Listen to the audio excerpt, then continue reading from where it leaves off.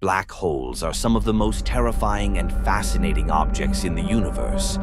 Formed when massive stars collapse under their own gravity, black holes have such strong gravitational pull that not even light can escape.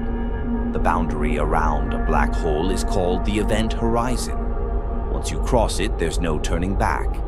Inside a black hole, time and space are warped to extremes.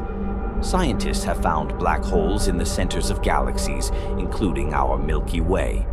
These supermassive black holes are millions or even billions of times the mass of our Sun. While black holes are invisible, we can detect their presence by the way they affect nearby stars and gas. But don't worry, Earth is safe from them. For now.